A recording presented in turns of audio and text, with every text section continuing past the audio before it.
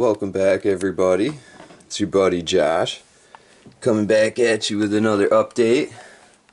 Hope everybody's been doing real good. Doing a little bath here this morning, getting everybody set up for the day. Been a little while since the last update. So figured I'd uh, get at you guys, let you know how everything's been going. We all been doing pretty good here. Looks like Belladonna's ready to get out of the bath now. So with my baths here in the morning, I got uh, what I like to do is have all the girls in one tub and then the boys in the other. That way there's no shenanigans in there. Belladonna's usually the first one that gets antsy, wants to come out.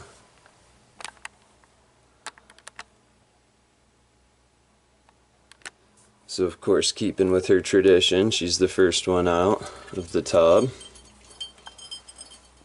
I'm getting everybody set up here for the morning, so I'll go through and get all these salads taken care of refreshed up for the day. I'll go through and then feed everybody. Bubba's been doing real good back there.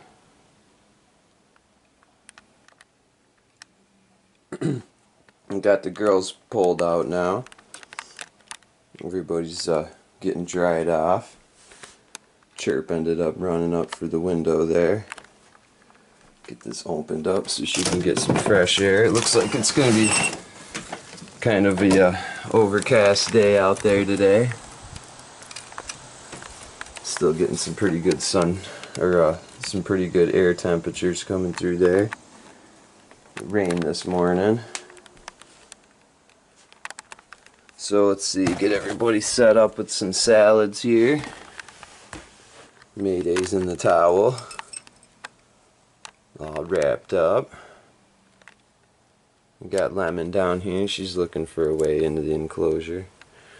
Didn't realize that side was open. So, uh, and I got Puff in here still. He's got to get come out.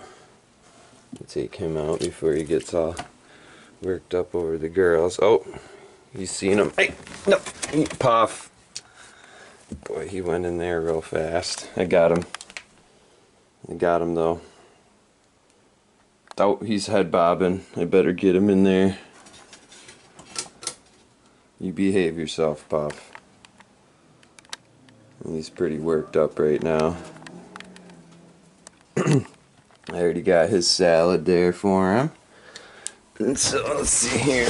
Get the girls set up in Mayday with, uh, with some salads. So usually just like to dump all the old salad into the mealworm container or the super worms. And then uh, we got our containers out here. We'll go through and distribute out some collard greens. There's a little bit of kale in here too. Every once in a while I'll throw in a little bit of that.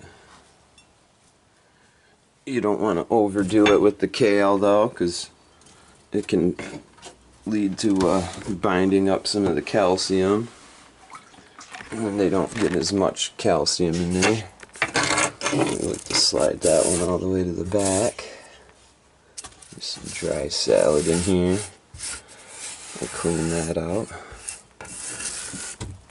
And then, let's see, this salad I like to put up front. So we got lemon hanging out here. She's a little dark right now.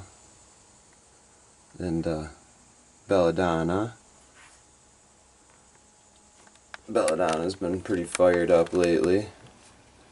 She's got a lot of sheds on her, uh, shed patches coming off there, her head.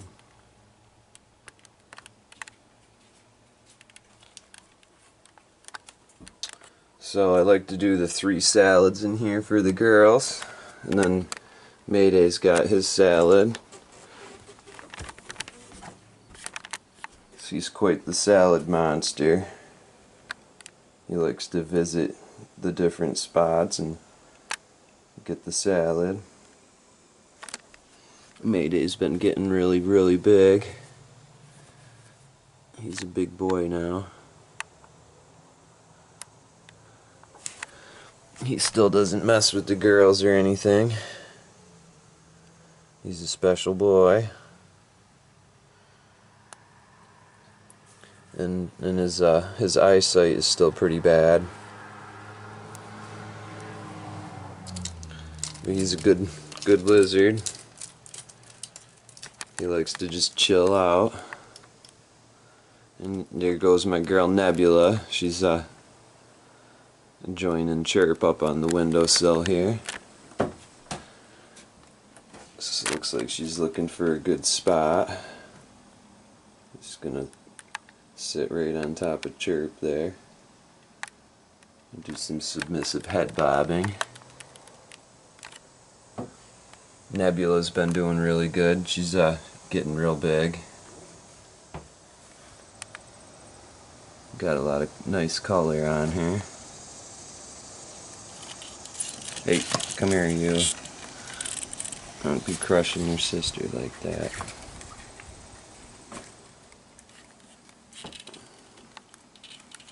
Oh, that little brat.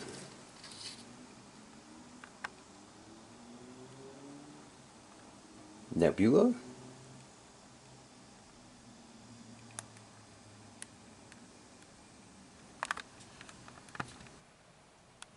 So I noticed my little buddy Mayday's got some crud in his eye here on on the bottom of his eyelid there.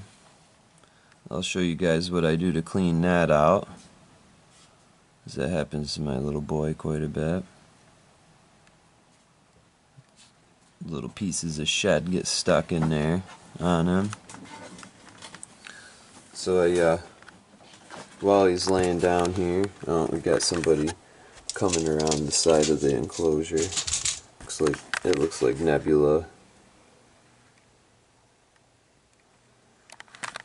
So I got my uh, saline solution here for contacts. It's got the little squirt bottle. So what I like to do is uh, just get a couple drops in there. Sometimes I'll give it a little bit of a squirting, squirting action there in the bottle. Give it a little bit of a squeeze once I know I'm lined up right. And then, uh, and then I got this little uh, napkin here, and it's I'll fold it like that. That way I can use one of the edges, a clean edge, to uh, to wipe any excess there on my little buddy. So let's see if we can uh, we can do this here while holding the camera steady. Oh, I didn't really get get any in there. I'm gonna actually have to switch hands and get this set up a little different. Let's see, there we go. Let's give it a little bit of a squirt, not too much, but enough where we can help get some lubrication in there for the babu. And what I'm going to do is just real gently use that corner to work this out. There it is.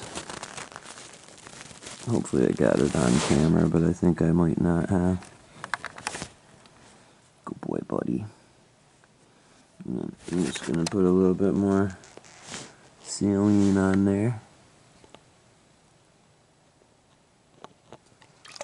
Boy. And then just one more little wipe down.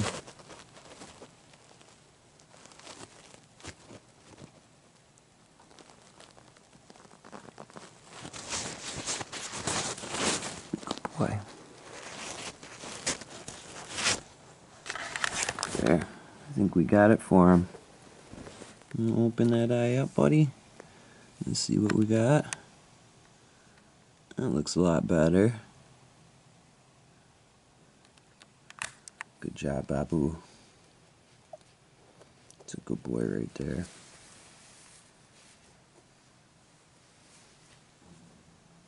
Put him back in so he can start getting warmed up.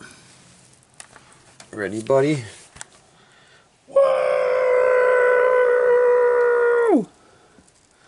He's in. Good boy. Mayday. World's most flexible bearded dragon.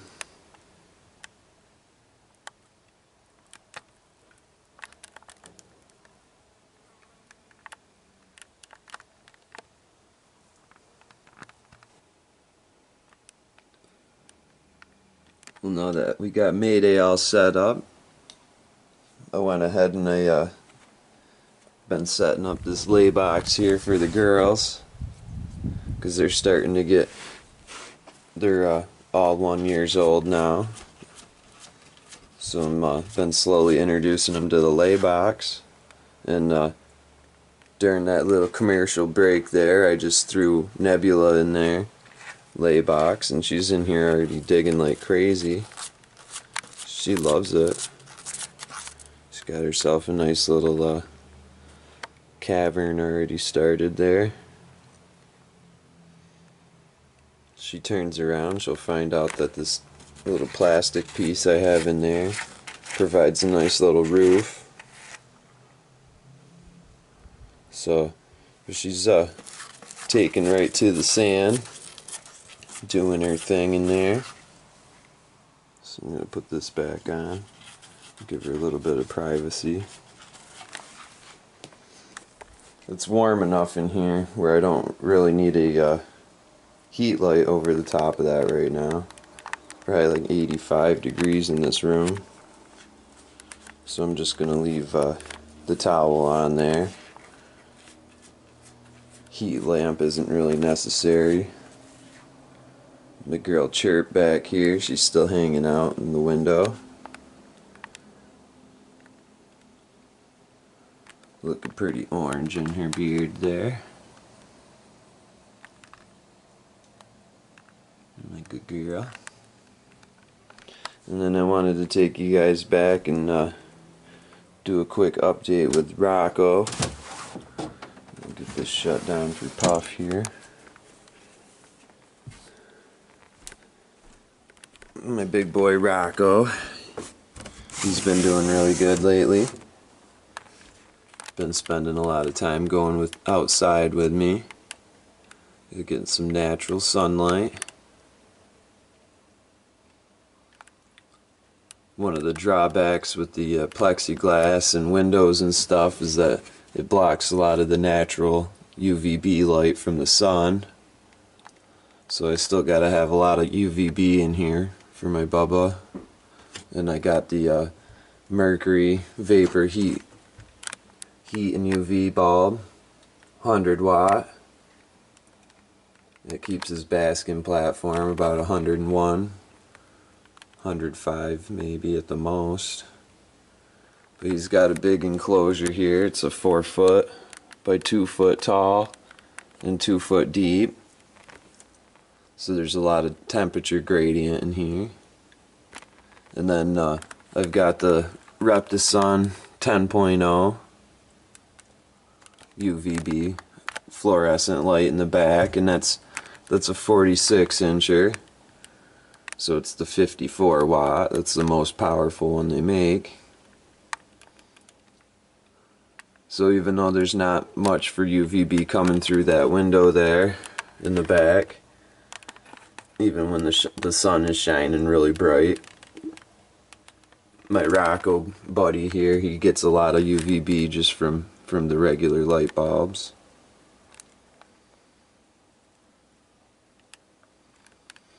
So he's got a couple favorite spots he likes to go when he comes out of here. He's to the point now where I trust him to just leave his uh, free range door open. He's got a little ramp there down below that gets him down to the ground level. It's one of his favorite features of this setup down here. He can come in and out as he wants. But when he does come out, he likes to hang out in the living room.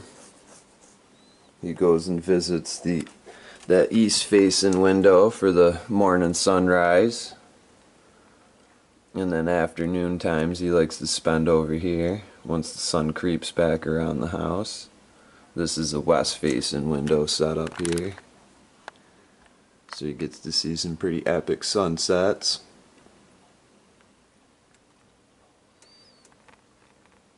So Rocko's been doing real good. He's been packing on the pounds and the length. Last time we weighed him, I think he was about 730 grams.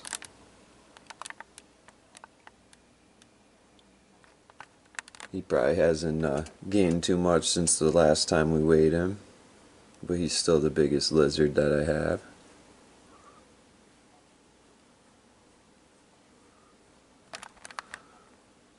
He's been going outside quite a bit too with me lately.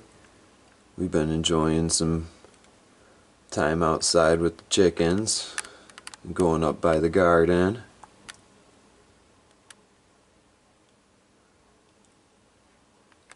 I haven't had to trim Bubba's nails at all because because of all the hard surfaces in here, the tile floor and everything. These chunks of marble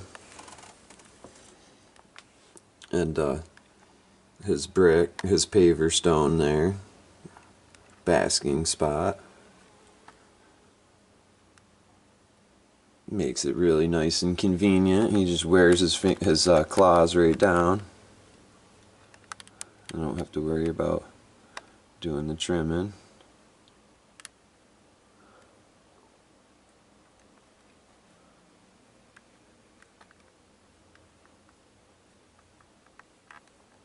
So Bubba's been doing really good.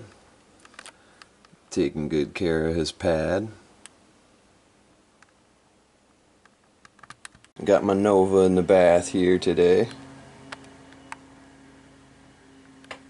She was looking a little parched this morning. So I threw her in the bath. Then I, uh, same time here, got my buddy Rox over here. He's in the bath. The big boy.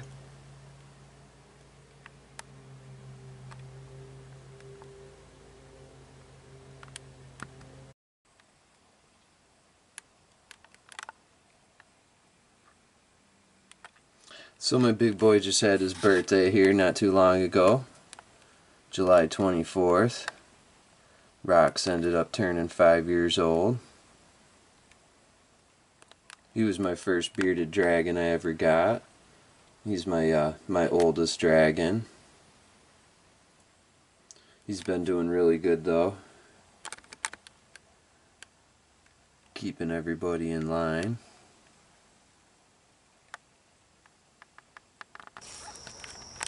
I thought I would also add this into the video today. Finally got myself a beehive. Some honeybees. Ended up having a swarm show up at work there the other day.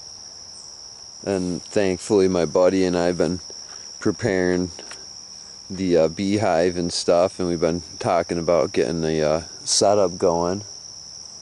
So we were inquiring about looking to get a queen we found out that it would uh, we would probably have to wait till October to get put on a list and stuff so but thankfully we came across this swarm here and it's a little colder out today so uh, everybody's kind of probably just hunkered down in here but there's uh, thousands of bees in there right now it was a massive massive hive that we got so, and uh, we're probably like 90% sure we got the queen in there. Maybe even like 95%. Because all the uh, worker bees have been doing their thing. Eating honey and bringing it back. So, if I lift that top off right now, you'd see that there's uh, there's thousands of bees in there. It's, it's insane. So we just gotta do our best to keep all the predators at bay here. Things like skunks and ants, and yellow jackets, all that stuff will come after uh, the honey and try to try to wipe out the hive here. So, but yeah, I just wanted to throw that in the video. Got a honey box now.